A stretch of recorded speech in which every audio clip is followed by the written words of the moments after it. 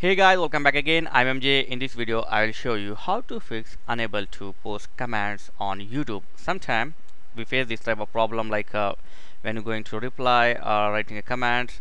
After write the command like this, you are not able or you are you are not have access to reply your commands or post your commands. So what the issue behind this? The simple issue is many people uh, pause the video and then write the command. So sometime it will disable the command section. So what you need here just play the video and then write the command. And absolutely it will post your command like this.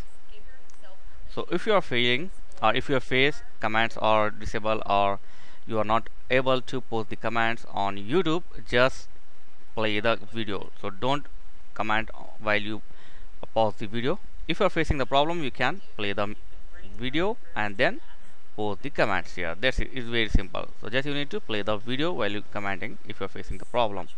So that's it. Thanks for watching. See you next video. Please like share and subscribe. If you have any question ask me in comments